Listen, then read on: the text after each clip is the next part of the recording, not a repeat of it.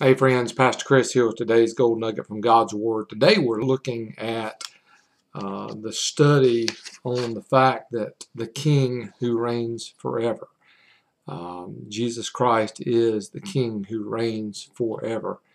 Uh, he came to us as that little baby born in Bethlehem, and now he's seated at the right hand of God the Father.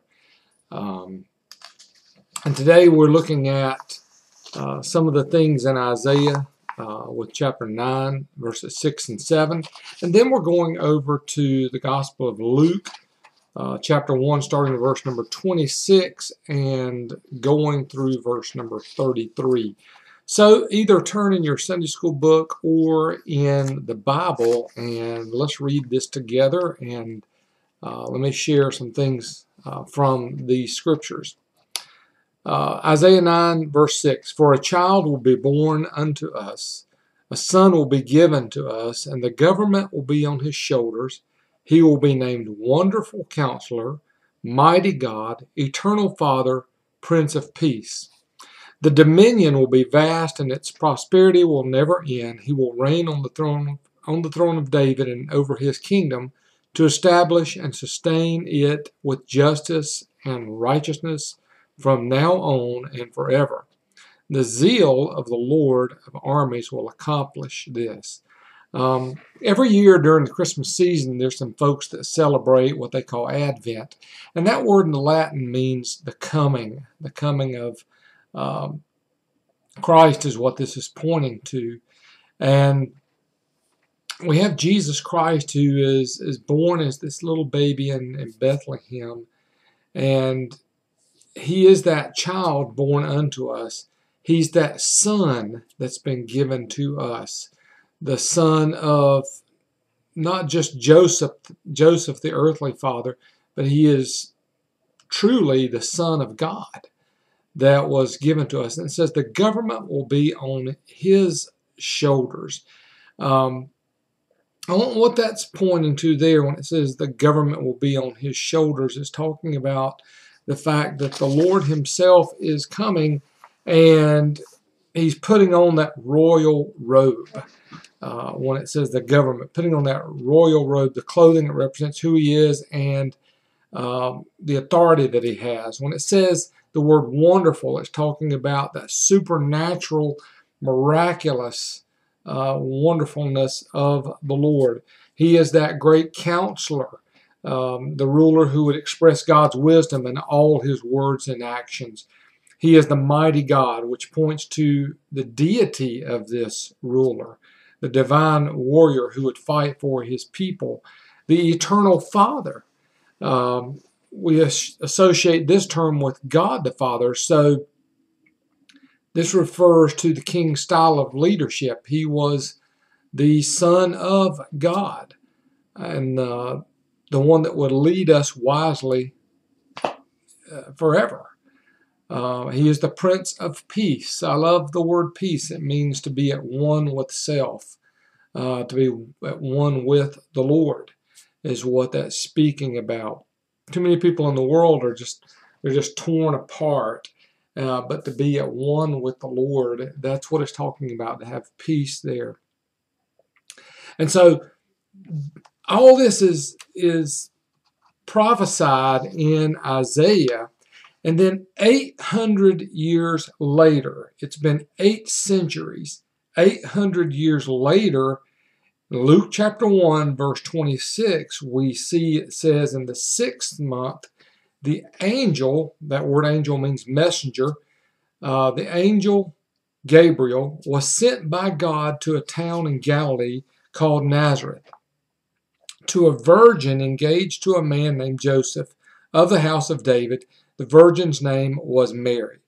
The angel said to her, came to her and said, Greetings, favored one. That, that word favored one means to be uh, the person that's found grace. So Mary has found God's grace. It's been, been given to her uh, meaning she's saved. She's one of God's children. I'll see her someday in heaven and meet her uh, face to face. But uh, the the angel said, Greetings, favored one, the Lord is with you.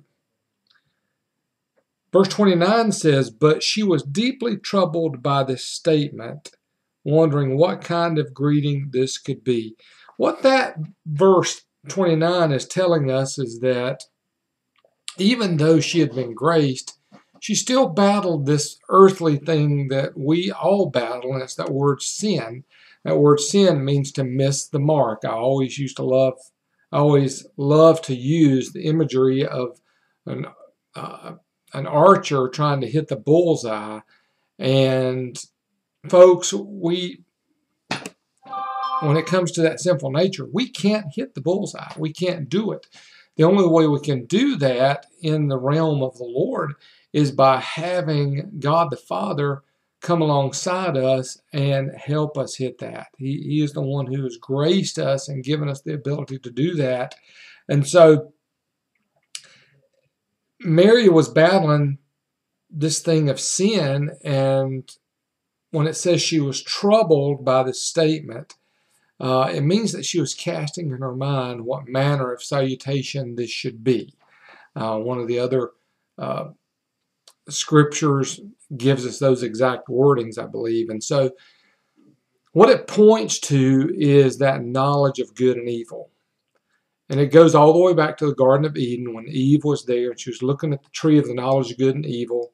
And the serpent spoke to her and caused her to cast in her mind these things of should I partake of it or should I not? And we do that every day. We have decisions to make, and instead of going to the Lord and talking to Him about it, we rationalize things in our own minds and we make reasons why to do something and why reasons why not to do something. And folks, the the answer is always going to be to go to Jesus and talk to him about it. And let him him lead and guide us. Because on our own, we're going to make mistakes. You're not always going to choose the right thing when you're trusting in yourself and casting in your mind uh, decisions that you need to make. If you just go to the Lord and surrender to Him and let Him lead and guide you and help you and and giving you direction and things, man, life would be so much easier. But uh, this is a picture of of mankind here when it says that uh, Mary she was troubled by this statement, wondering what kind of greeting this could be. Verse 30 says, The angel told her, Do not be afraid, Mary, for you, you found favor with God. Now listen, you will conceive and give birth to a son, and you will name him Jesus. So, uh, here's the, the messenger. He's come to her, he's told her, You have found favor with God, and you're going to give birth to a baby, and you're going to name him Jesus. Mary um, was just like us, folks. Uh, I know there are some religions that pray to Mary, and um, and they'll they'll repeat the the scripture, which um, um, Mary, full of grace, the Lord is with thee. Blessed art, art thou among amongst women, and blessed is the fruit of thy womb, Jesus. Um, and they'll share that over and over, and they'll pray to God the Father through Mary. Um, but folks, that that's not correct. Uh, we don't have to go through um, uh, a person called Mary, which was the son, uh, the mother of Jesus, and I understand that. Um, we don't have to pray through her. We don't have to pray and confess our sins to a priest. Uh, but what we do have to do is go directly to the Lord. You see, when Jesus Christ died on the cross of Calvary, uh, the temple curtain, it split down the middle, which gave us that access to the Lord directly. Uh, there were times in the Old Testaments when only a priest could enter into the Holy of Holies, and, and so for that reason, some believe that we still need to go to a priest today and confess our sins and to seek um, forgiveness. And that's not the truth. Uh, what we need to do is go directly to God the Father, and you you can do that right there in your home. Just kneel somewhere uh, and and just confess your sins to the Lord and ask forgiveness of Him. And He is just and righteous to forgive us of our of our sins. So so this this is Mary, and she's found out this information and she's been troubled by it. But then the, the messenger said, Do not be troubled. You've been one that's found grace with the Lord, and so you're highly favored. And then he goes on and he tells her in verse 32 that he will be great, talking about Jesus. Uh, and that word great is not just what we as parents, I have three children, and do I think they're great? Absolutely. I, I love them, and um, I know I know they're human. I know they make mistakes, but uh, if you ask me if I think my children are great, I'd say absolutely, they're great. They're great human beings. But this is pointing to uh, an infinite greatness. Uh, it's beyond what we as human beings can ever can ever reach. And so it says he will be great and will be called the Son of the Most High. Now, that term, Most High, was reserved only for God Himself. And so when it says he will be Son of the Most High, it's telling Mary that you're going to have the Son of God. Uh, and the Lord God will give him the throne of his father David. Um, God promised King David, he said, Your house and kingdom will endure before me forever, and your throne will be established forever. 2 Samuel 7.16 is where we find that. And so the Lord has give that, given this promise to Mary and told her that he is going to give him the throne of his father David, and he will reign over the house of Jacob forever, and his kingdom will have no end. Um, the commentary here says Jesus would rule over Israel, but it wouldn't stop there. He was the one who spoke creation into existence, Colossians 1:16, and he has and as the resurrected Lord, Jesus would sit at God's right hand.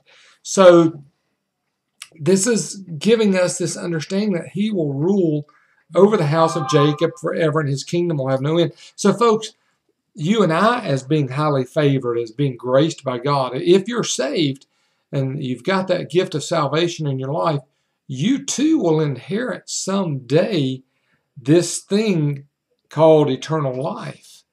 And you too will be there with the Lord forever because you're His child. If you have found grace, if you have found favor in the Lord, and you've been saved, then you will have that as well. What a blessing that is. Um, it's a great reminder for you and I as we think about the Christmas season and uh, this study today and the King who reigns forever. so thankful that when I was nine years old, the Lord spoke to me. That still small voice spoke to me, and I surrendered to Jesus Christ as Lord, Lord and Savior. I'm so thankful when I was in my 20s that the Lord spoke to me again and called me into full time Christian service. Um, there's been many times in my life where the Lord has spoken to me in that still small voice. Earlier this year, I went away the first few days of February and just got alone with God for three days and let Him speak to me, and He did he reminded me that um, I needed personal revival in my life, meaning that if I wanted revival in my life, it, it started with a one on one thing with Him um, personally in my life. And God did that. And man, what an amazing thing God's done in me and through me. I'm going away again this coming February for the first few days of that month to just spend some time with the Lord and talk to Him I'm sorry my phone keeps going off. There's a group text uh, that probably with the choir. We're going Christmas caroling tonight, but um, if I can encourage you to just get along with the Lord, let Him love on you, let Him speak some truth into you. Uh, whatever you're burdened with, I pray you just give it to Jesus. Uh, I pray you have a Merry Christmas and that God blesses you this season. There's a lot of people out there hurting, and I realize folks are trying to find Christmas. Uh, can I encourage you to to realize that Christmas is not in all the stuff, it's not in the parties, it's not in all those things that uh, the world provides us to celebrate Christmas. But Christmas is truly found in Jesus Christ and getting alone with Him and spending time with Him. He will speak to you and He will bless you. Uh, I pray you'll take all those things to heart and, and spend some time with Jesus this Christmas. God bless you. Have a great rest of your day. I'm going to turn my phone off. And then I'll uh, call that person back. It was my wife. Um, let me pray with you.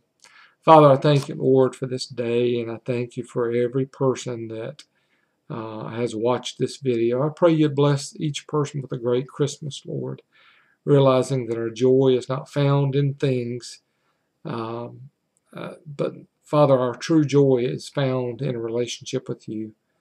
Uh, Lord, I pray that you'll just bless every person today and give them um, love this season, Father. You give them peace this season. And we embrace, Lord, you as our Father. In Jesus' name we pray. Amen.